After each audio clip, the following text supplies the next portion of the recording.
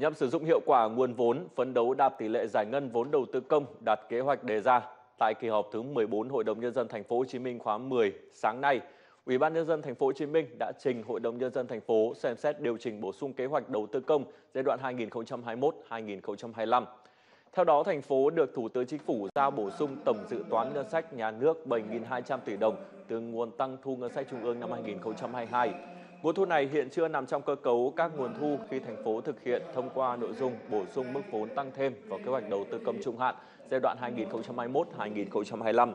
Do đó, Ủy ban nhân dân thành phố kiến nghị Hội đồng nhân dân thành phố bổ sung thêm 7.200 tỷ đồng này vào kế hoạch đầu tư công trung hạn giai đoạn 2021-2025.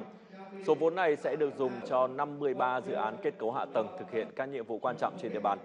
Hiện qua giả soát sơ bộ dự án đường vành đai 3 và các dự án chuyển tiếp sử dụng vốn ngân sách thành phố có khả năng điều chỉnh giảm 16.056 tỷ đồng. Do đó, Ủy ban nhân dân thành phố đề xuất sau khi việc giả soát giảm kế hoạch trung hạn được hoàn tất, thành phố sẽ sử dụng số vốn này để bổ sung cho các dự án cấp bách của thành phố đã hoàn thiện thủ tục đầu tư để triển khai ngay trong giai đoạn 2021-2025.